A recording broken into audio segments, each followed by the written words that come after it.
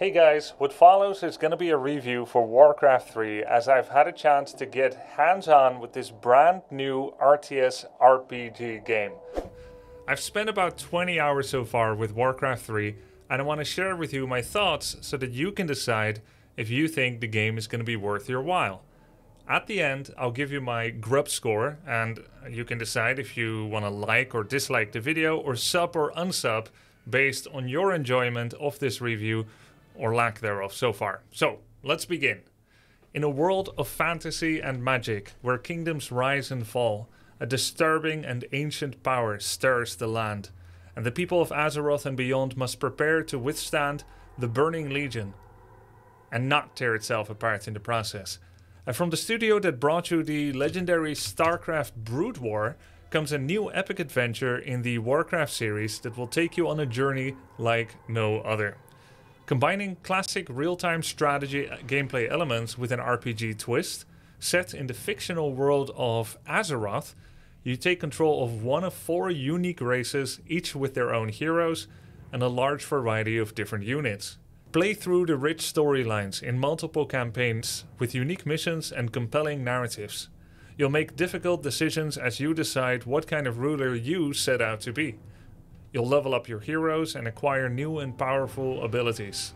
And you'll send out your forces and your armies to take out your foes. Prepare for the deep and engaging gameplay that Blizzard is known to offer in the all new world of Warcraft 3. I've gotten my hands on Warcraft 3 on day one of release, and I'm excited to share my review of this game so far and give you my grub score after 20 hours of play so you can decide if it's going to be worth your time and the hefty price tag of 59 $99. Warcraft 3 is a fantasy game set in the world of Azeroth, and you play as one of the four races, namely humans, uh, orcs, night elves, and undead. Each faction has its own campaign series that further the storyline and are meant to be played in a particular sequence, with about 8 missions per faction. Without wanting to share spoilers of the story, as I'm sure if you end up getting the game, you'll be wanting to experience it for yourself, the events that unfurl are gripping and present the player with moral dilemmas, uh, tough setbacks, and hard fought triumphs. Outside of the campaigns, players can choose to engage in custom skirmishes against the AI, or go on Blizzard's Battle.net, their online destination for multiplayer games. There's a separately launchable world editor, where you may find some use for it as it allows users to create new uh, ways to use the existing game assets uh, to create levels for one another. It seems fairly powerful. Who knows what people may come up with given the time and energy that they could be putting into it, as we've already seen with the custom game scene in StarCraft Brood War. Let's talk about the graphics. Warcraft 3 follows a cartoonish art style that is more surrealistic and less realistic, with unlikely proportions at times. At first look, it can be hard to tell what's going on sometimes, but with more hours into the game, I started to appreciate that the game does a very good job of being readable with all the different battle effects and spells that can be used by players. There's a pleasing aesthetic to the look of the world, and a cohesive palette of the world is being portrayed to us at all times. While not being groundbreaking visually compared to beautiful games like, for instance, Splinter Cells uh, right from Tom Clancy, speech. which has state of the art lighting effects. You have the right to freedom from what? Warcraft 3 nonetheless does its job well at creating a beautiful aesthetic visually that remains well readable. Much of the story is rendered via in-game cutscenes, like this one. And this does the job of furthering the story very well. The most impressive part of the visual experience is on the cinematic front. In this, Blizzard has outdone themselves once again. The cinematics are drop dead gorgeous and emotionally demand your investment. They are scattered and spread throughout the campaign after certain missions as rewards for completing them. The sound and music for Warcraft 3 is composed by Tracy W. Bush, Derek Duke, Jason Hayes, Victor Crews, and Glenn Stafford, who we of course also know from his stellar work on StarCraft Brood War.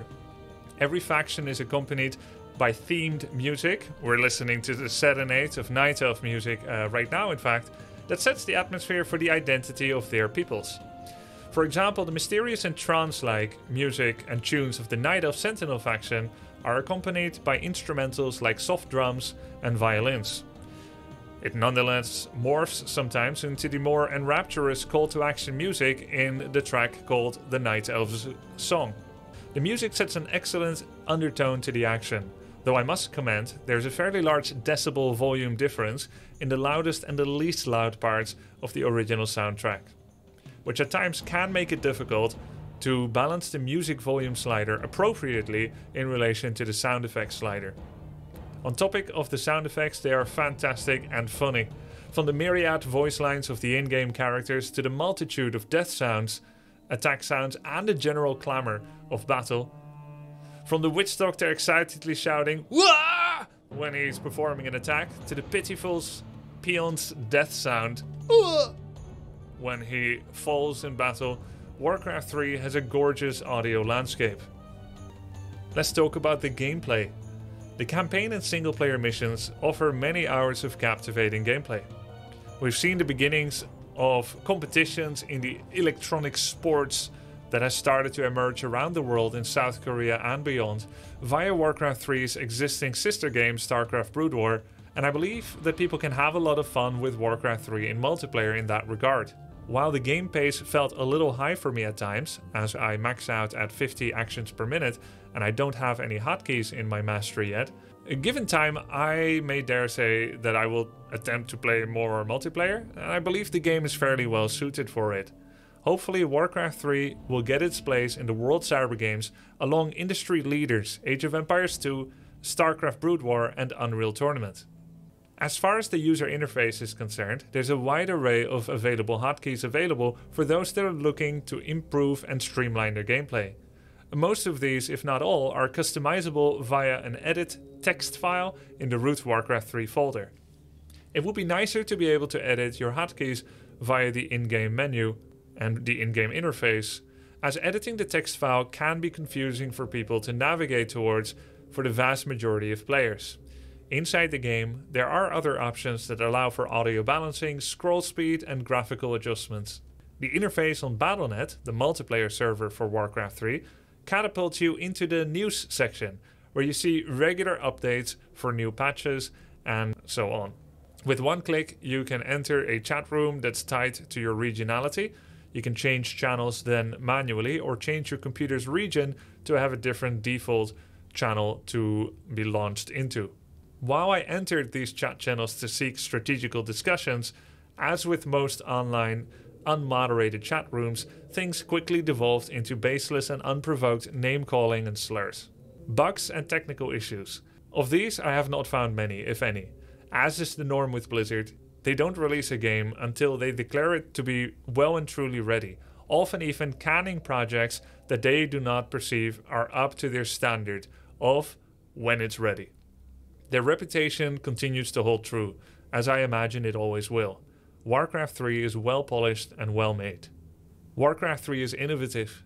It innovates upon the RTS genre with strong competition among other RTS games like Age of Mythology, Rise of Nations, Command and Conquer Generals, and, soon on the horizon, Warhammer 40k Dawn of War, Rome Total War, coming up soon. By adding RPG elements to the RTS, Blizzard may have unearthed and developed a new niche in the market for players that like to play with units that are more powerful as they survive more battles. With the hero leveling system, there is a ripe recipe for new ways to enjoy the tried and true popular genre of real time strategy. Perhaps the presence of these well fleshed out heroes may even lead to new extra innovations via the world editor? Time will tell. When it comes to the multiplayer and the replayability of the game after finishing campaigns and single player missions, initially I found myself quickly rashed out of existence by other players when playing on Battle.net. But after several lickings and beatings, I actually managed to achieve my very first online victory. Multiplayer is a fun and challenging experience that I could see myself delving more into given time. After looking up some day one strategy, advice, and build orders on popular community sites and forums, I managed to perform a Dreadlord Frost Wyrm rush, and I got myself that sweet victory screen. I could get used to that. All in all, Warcraft 3 is a complete and fantastic game that I could recommend to anybody in love with either the RTS or the RPG genre. The Grub score is going to be a resounding 9.6 out of 10. If you enjoyed this review, sub to the Grub for more gaming news, reviews and playthroughs. Perhaps in the future even some Warcraft 3 gameplay. And what do you think? Do you think you're going to be buying Warcraft 3? Let me know in the comments below. Thanks for watching.